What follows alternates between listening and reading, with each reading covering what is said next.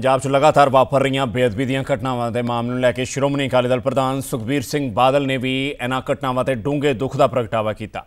ਉਹਨਾਂ ਬੇਅਦਬੀ ਦੀਆਂ ਘਟਨਾਵਾਂ ਦੇ ਪਿੱਛੇ ਡੂੰਘੀ ਸਾਜ਼ਿਸ਼ ਦਾ ਸ਼ੱਕ ਪ੍ਰਗਟਾਇਆ। ਕੇਂਦਰ ਅਤੇ ਪੰਜਾਬ ਸਰਕਾਰ ਨੂੰ ਸਾਜ਼ਿਸ਼ ਦੇ ਪਿੱਛੇ ਦੀਆਂ ਤਾਕਤਾਂ ਦਾ ਪਤਾ ਲਾਉਣਾ ਚਾਹੀਦਾ ਹੈ।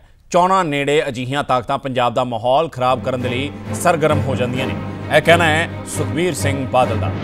ਇਸ ਦੇ ਨਾਲ ਹੀ ਉਹਨਾਂ ਕਿਹਾ ਕਿ ਇਸ ਸੰਵੇਦਨਸ਼ੀਲ ਮੁੱਦੇ ਤੇ ਸਿਆਸਤ ਨਹੀਂ ਹੋਣੀ ਚਾਹੀਦੀ। ਦੋਸ਼ੀਆਂ ਨੂੰ ਜਲਦ ਤੋਂ ਜਲਦ ਫੜਿਆ ਜਾਣਾ ਚਾਹੀਦਾ ਕਾਂਗਰਸ ਸਰਕਾਰ ਨੇ ਪਿਛਲੇ 5 ਸਾਲ ਬੇਅਦਬੀ ਦੇ ਮਾਮਲੇ ਤੇ ਸਿਰਫ ਔਰ ਸਿਰਫ ਸਿਆਸਤ ਕੀਤੀ ਸ਼੍ਰੋਮਣੀ ਅਕਾਲੀ ਦਲ ਪ੍ਰਧਾਨ ਸੁਖਬੀਰ ਸਿੰਘ ਬਾਦਲ ਨੇ ਕੀ ਕੁਝ ਕਿਹਾ? ਸੁਣਵਾਉਂਦੇ ਹਾਂ ਤੁਹਾਨੂੰ।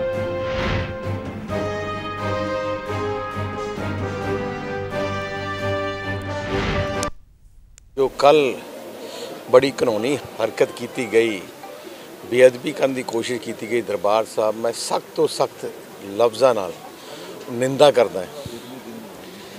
ਐਂ ਲੱਗਦਾ ਹੈ ਕਿਸੇ ਸਾਜ਼ਿਸ਼ ਤਹਿਤ ਆ ਕੰਮ ਕੀਤਾ ਜਾ ਰਿਹਾ ਹੈ, ਕਿਉਂਕਿ 15 ਤਰੀਕ ਨੂੰ ਤਕਰੀਬਨ 3-4 ਦਿਨ ਪਹਿਲੇ ਦਰਬਾਰ ਸਾਹਿਬ ਦੇ ਪਵਿੱਤਰ ਸਰੋਵਰ ਵਿੱਚ ਗੁਟਕਾ ਸਾਹਿਬ ਨੂੰ ਪਾੜ ਕਰ ਉੱਥੇ ਸਿੱਟੇ ਗਏ ਸੀ ਗੁਟਕਾ ਸਾਹਿਬ।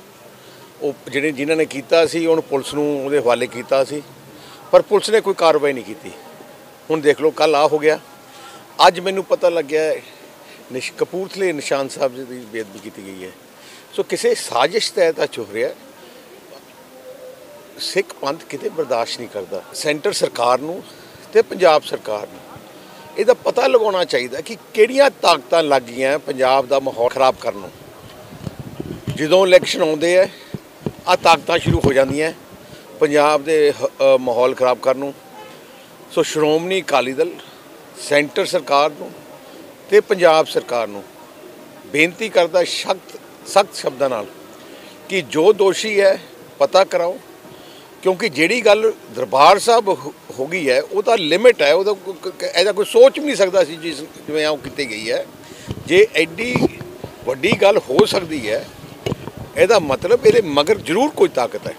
ਸੋ ਸੈਂਟਰ ਸਰਕਾਰ ਤੇ ਪੰਜਾਬ ਸਰਕਾਰ ਨੂੰ ਜ਼ਰੂਰ ਪਤਾ ਲਗਾਉਣਾ ਚਾਹੀਦਾ ਤੇ ਜਲਦ ਤੋਂ ਜਲਦ ਦੋਸ਼ੀਆਂ ਨੂੰ ਪਤਾ ਉਹਦੇ ਮਗਰ ਕੌਣ ਹੈ ਪਤਾ ਲਗਾ ਕੇ ਉਹਨੂੰ ਸਜ਼ਾ ਦੇਣੀ ਚਾਹੀਦੀ। ਕਈ ਪਾਰਟੀ ਕਈ ਜਥੇਬੰਦੀਆਂ ਨੇ ਪਿਛਲੀ ਵਾਰ ਵੀ ਸਿਆਸਤ ਕੀਤੀ। ਐਕਟ ਦੀ ਕੋਈ ਸਿਆਸਤ ਨਹੀਂ ਹੋਣੀ ਚਾਹੀਦੀ ਕਿਉਂਕਿ ਆ ਗੁਰੂ ਦੇ ਗੁਰੂ ਦੀ ਬੇਅਦਬੀ ਦਾ ਮਸਲਾ ਹੈ। ਕੋਈ ਸਿਆਸਤ ਦਾ ਮਸਲਾ ਨਹੀਂ ਹੈ। ਸੋ ਮੈਂ ਮੈਂ ਮੈਂ ਇਹਦੇ 'ਚ ਇੱਕੋ ਹੀ ਗੱਲ ਕਰਨਾ ਚਾਹੁੰਦਾ ਦੋਸ਼ੀ ਫੜੇ ਜਾਣੇ ਚਾਹੀਦੇ ਐ ਐ ਨਹੀਂ ਕਿ ਹੁਣ ਸਿਆਸਤ ਕਰਨਾ ਸ਼ੁਰੂ ਕਰ ਦੋ।